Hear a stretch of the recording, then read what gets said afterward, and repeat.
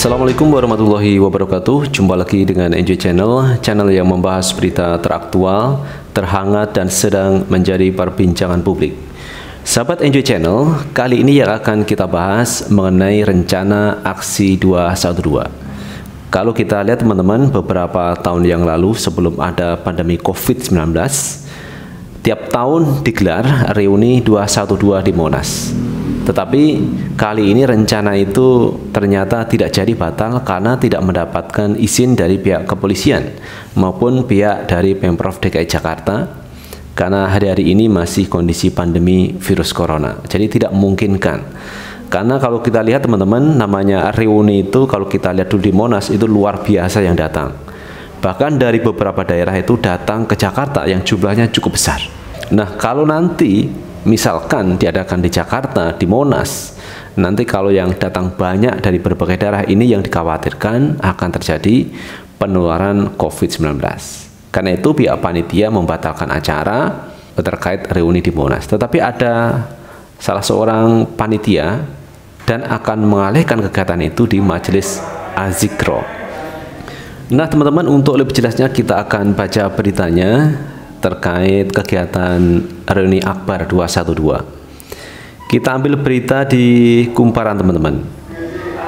Beredar video Haikal Hasan minta warga tak datang ke Monas untuk reuni 212 Beredar video jubir PA 212 Haikal Hasan meminta warga dari daerah tidak datang ke Monas untuk reuni 212. Video itu beredar lewat aplikasi pesan singkat dalam video itu, Haikal tampak tengah mengisi sebuah acara pengajian.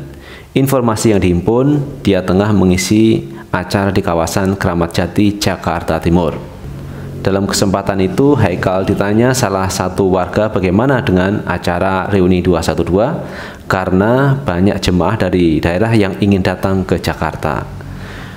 Ustadz Haikal Hasan lalu minta warga untuk tidak datang ke Jakarta. Dia meminta warga merayakan di daerah masing-masing dengan cara yang lain tak harus datang ke Jakarta.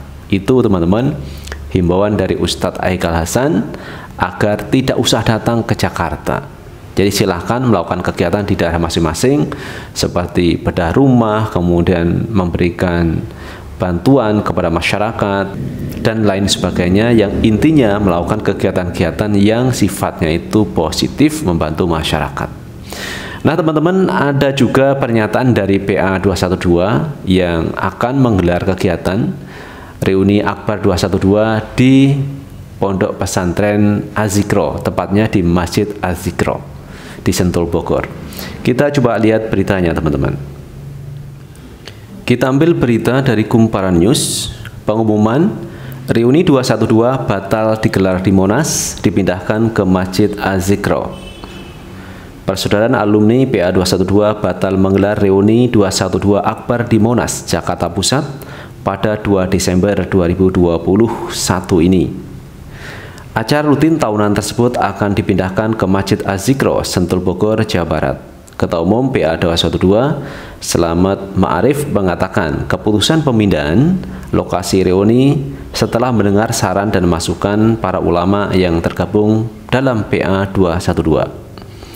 Setelah mendengar masukan dari para ulama dan tokoh 212 serta paparan dari pihak lainnya, maka panitia reuni Akbar 212 memutuskan pelaksanaan reuni 212 tahun 2021 akan diadakan secara terbatas dengan menerapkan protokol kesehatan di Masjid Azikro Sentul Bogor, Jawa Barat, kata Selamat lewat keterangannya Senin 29 November.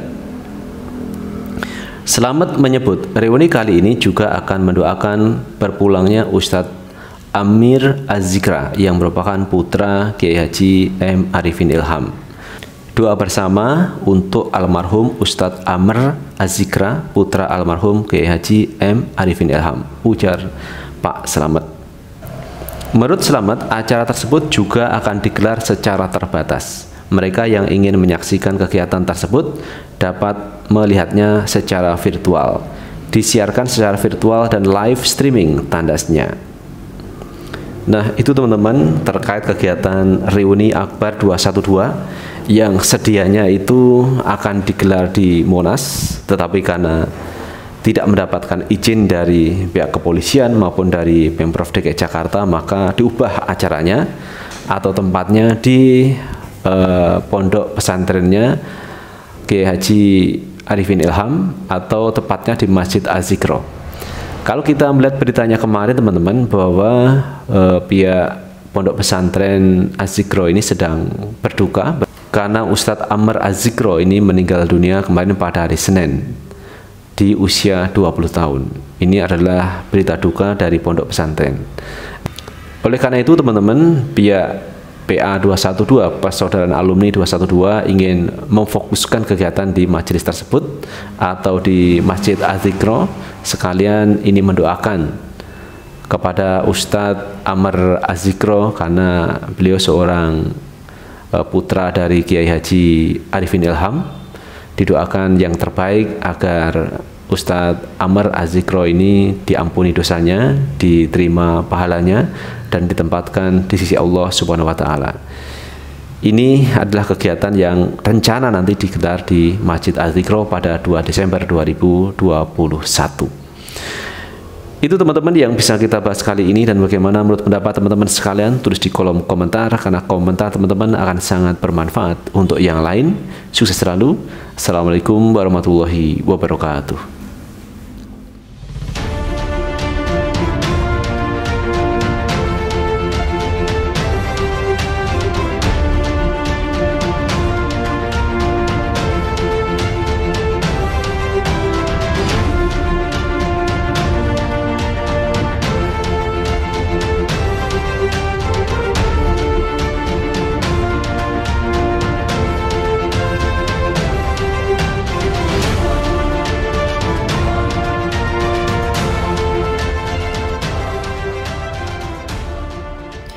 Polda Metro Jaya belum mengeluarkan izin penyelenggaraan reuni 212 yang rencananya akan digelar pada 2 Desember 2021 mendatang. Kabit Humas Polda Metro Jaya Kombes Polisi Endra Zulpan, Kamis 25 November mengatakan, perlu izin yang sangat lengkap jika mengadakan acara yang berkerumun. Salah satunya surat permohonan izin keramaian dengan rekomendasi dari Satgas COVID-19. Kemudian polisi akan menerbitkan STTP atau surat tanda terima pemberitahuan terkait surat izin keramaian. Namun dalam menyampaikan surat pemberitahuan kegiatan masyarakat maupun surat izin keramaian, ada beberapa hal yang perlu dilengkapi oleh pihak panitia.